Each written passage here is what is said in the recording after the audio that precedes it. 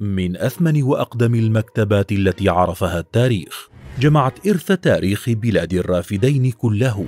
تضمنت قرابة نصف مليون من الألواح المسمارية وأكثر من خمسة آلاف كتاب.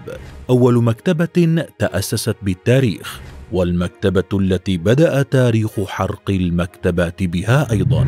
مكتبة آشور بنيبال أقدم مكتبة بالتاريخ. تعد مكتبة آشور بنيبال منبعا للمواد التاريخية في العالم. تم إنشاؤها في القرن السابع قبل الميلاد إذ أسسها الإمبراطور الآشوري العظيم آشور بنيبال الذي وصف بأنه أكثر أباطرة العالم القديم وعيا وثقافة وعلما. إذ جمع المعارف من النصوص السومرية الغامضة والأكدية المعقدة والألواح المسمارية الحجرية التي رسخت تاريخ ما قبل الطوفان. وقد حكم بنيبال بين عامي 668 و 627 قبل الميلاد. ونظرا لحبه للعلم والمعرفة أراد تأسيس مكتبة تاريخية عظيمة فأرسل رجاله إلى الأصقاع لجمع النصوص التي سيضعها في مكتبته. التي قرر أن يجمع فيها آداب بابل وآشور بشكل منظم. أيضا أمر أن تترجم ألواح الطين السومرية والأكدية والبابلية التي تحتوي أساطير القدماء وعلومهم وآدابهم وكل ما يتعلق بهم ليجمع أكثر من ثلاثين ألف وثيقة مسمارية على الأقل كتبت باللغتين السومرية والأكدية كنز تاريخي عظيم. جمع كتاب آشور بنيبال الألواح الطينية من كل أنحاء بلاد الرافدين من قصور ملوك وادي الرافدين القدماء والمعاصرين له وكانت مكتوبة باللغتين السومرية والأكدية وأمرهم بإعادة كتابة التالف منها وترجمة النصوص السومرية إلى اللغة الأكدية إذ كانت اللغة التي يستخدمها الآشوريون في الكتابة والحديث لتجمع آلاف الألواح الطينية التي تمثل تراث بلاد الرافدين في جميع فروع المعرفة وقاموا بفهرستها وتبويب موضوعاتها ورتبوها على رفوف متجانسة فصنعوا مكتبة مكونة من قسمين الأول في قصر سنحاريب جد آشور بنيبال والثاني في قصر آشور نفسه. جمع فيه ألواحا مختلفة عن الأولى.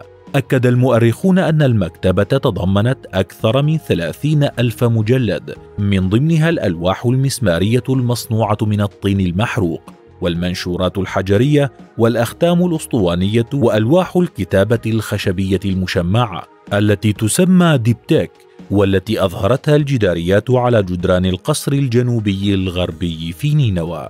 وقد اهتدى السومريون من خلالها إلى طريقة خاصة لصناعة الألواح المخصصة للكتابة ثم حفظها في مكتبات تضمن سلامتها. وتعتمد طريقتهم تلك على تجفيف اللوحة التي يريدون الكتابة عليها في الشمس. وطبعا تكون مصنوعة من الفخار والصلصال فتجففها الشمس حتى تكتسب الهشاشة المطلوبة. وقد يلجؤون أحيانا إلى تجفيفها في أفران خاصة. على شاكلة مدخنة ملائمة كي لا ينكسر الفخار ويتفتت وحين تكتسب اللوحة المتانة المطلوبة تصبح صالحة للكتابة المسمارية. ستون عاما من التنقيب. عام 612 قبل الميلاد وبعد انهيار إمبراطورية آشور تم حرق مكتبة آشور بنيبال من قبل الجيوش المنتصرة على الآشوريين. لكن مآثرها بقيت صامدة بل طبخت أكثر بالنار وزادت متانتها رغم أنها دفنت لأكثر من ألفي عام حتى القرن التاسع عشر.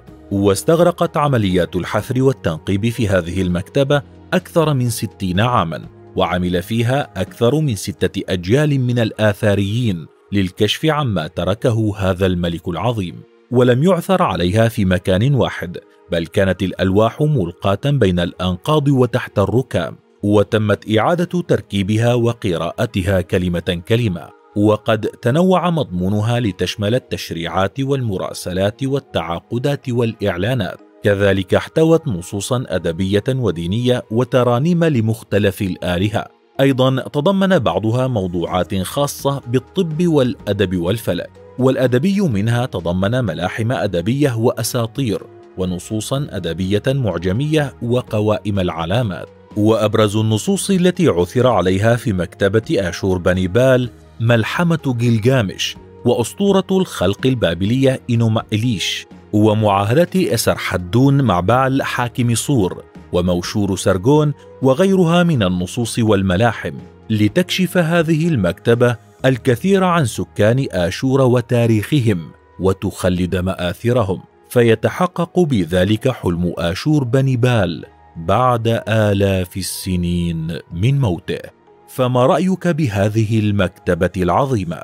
وهل سمعت بها من قبل؟